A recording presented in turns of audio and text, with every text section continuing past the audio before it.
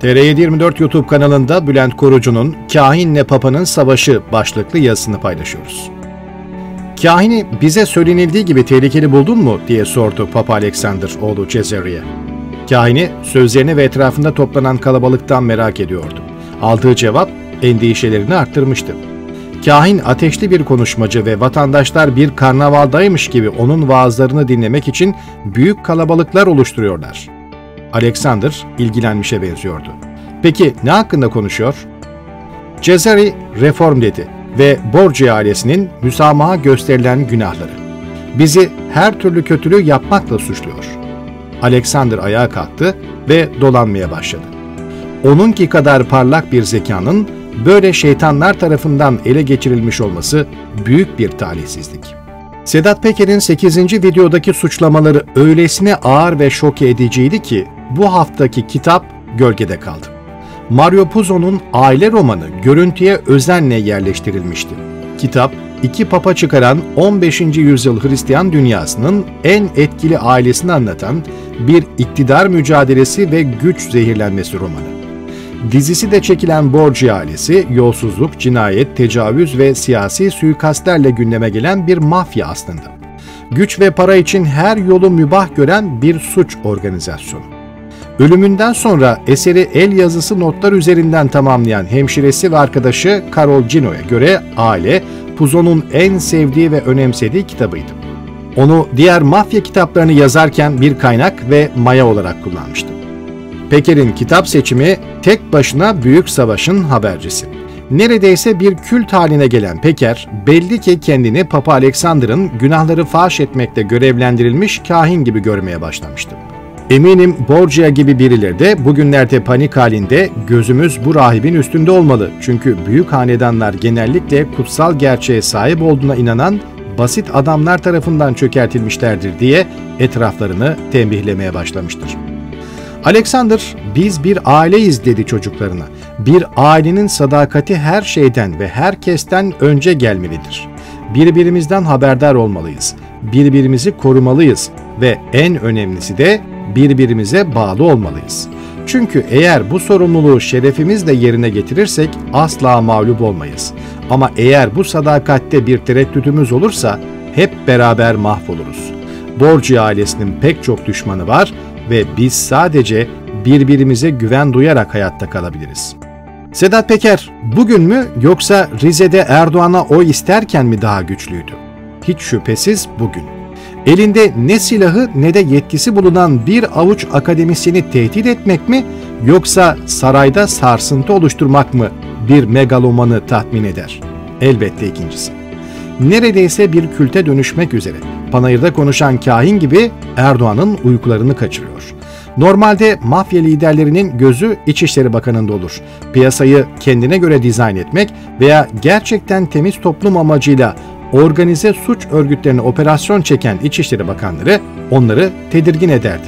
Karşımızda tam tersine bakanla dalga geçen ve ondan güvenilir bulunan bir baba var. Videoları 100 milyondan fazla izlenmiş bir kahin var. Peker'i bu saatten sonra susturabilecek tek şey kendisi ve ailesinin hayatı. Onu da güvence altına almadan böyle bir mücadeleye girişmez. Erdoğan'ın ona verebileceği hiçbir şey yok. Ancak canla tehdit edebilir. Artık kahinle papa karşı karşıya. Peker'in düelloyu anımsatan sonraki randevusu merak ve heyecanı doruğa çıkardı. Bununla birlikte 7 videoda örgüleyip 8.de netleştirdiği fotoğrafta Cumhurbaşkanı Erdoğan'ı görüyoruz. Yeterince ayan beyan açık hedef Erdoğan.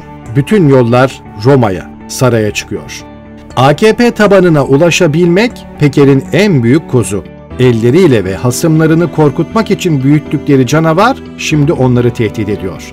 Yıllarca tabana yerli, milli ve hatta caiz mafya diye sundukları adamı AKP seçmeni de seyrediyor ve onları nasıl yakalayacağını iyi biliyor. Mesela Suriye'ye giden devletin parası şehit olan milletin evladı ama para 5-10 kişinin cebinde diyor. Türkiye'nin bile terör listesine aldığı El Nusra'yı desteklemek uluslararası camianın dikkatini çeker, lakin vatandaş çok bilmez. Fakirlik canına tak etmiş insanlar, 3 maaşlı Metin Kıratlı'nın üstüne bir de çocuklarının kanı üzerinden kirli ticaret yapmasını hazmetmez. Hele de cümle Necip Fazıl'ın bu Taksim'i kurt yapmaz, kuzulara şah olsa dizesiyle bağlanıyorsa. Filistin konusunda söyledikleri de Erdoğan'ı zor durumda bırakacak cinsten. AKP'nin sadece hamaset yaptığını, somut adımlar atmadığını Bilal'e anlatır gibi anlattı. Azerbaycan'a gönderdiğiniz sihalardan 10 tane de Filistin'e gönderin.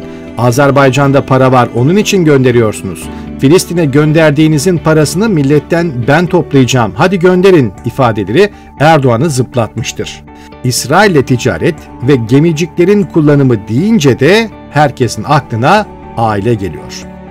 Binali Yıldırım'ın oğlu AKP'ler içinde bile negatif bir figür. Hesapsız zenginleşen AKP'li çocukların sembolü pudracı Kürşat'tı. Şimdi Erkam Yıldırım o silsileyi tamamlıyor ve bayrağı devralıyor.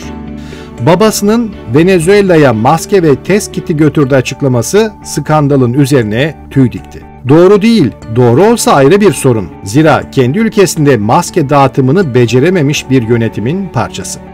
Videolarla oluşan etki sadece Peker'in başarısı değil, Erdoğan rejimi ve ailenin çuvallaması. Pazarı herkes ama en çok da saray bekliyor. Kahin papaya şah çekti. Önce piyonlar korkuyla kaçıştı, sonra atlar, kaleler, filler. En kolay hamle ise vezir oldu. Binali Yıldırım için birkaç cümle yetti. Çünkü çalmıştı. Hem de çok çalmıştı ve zayıf halkaydı. Ben en çok 9. videoda kullanacağı kitabı merak ediyorum. Kitap hakkında Ölümünden sonra kitabı el yazısı notlar üzerinden tamamlayan hemşiresi ve arkadaşı Carol Gino'ya göre aile Puzo'nun en fazla önemsediği eseriydi. Diğer mafya kitaplarını yazarken onu maya olarak kullandı. Şöyle anlatıyor Gino. Mario, Rönesans dönemindeki İtalya ile özellikle de Borgia ailesiyle çok ilgileniyordu. Onların ilk suç ailesi olduğuna ve maceralarının mafya ile ilgili anlattığı diğer bütün hikayelerden daha korkunç olduğuna yemin ederdi papaların ilk donlar olduğuna, özellikle Papa Alexander'ın hepsinden daha büyük bir don olduğuna inanırdım. Aradaki yıllar içinde birçok başka roman yazmış olmasına rağmen yazmakta her zorlandığında, yaratıcılığının söndüğünü her hissettiğinde ya da cesareti kırıldığında tekrar Borgia kitabına geri dönüp ilham alıyor ve ona sığınıyor.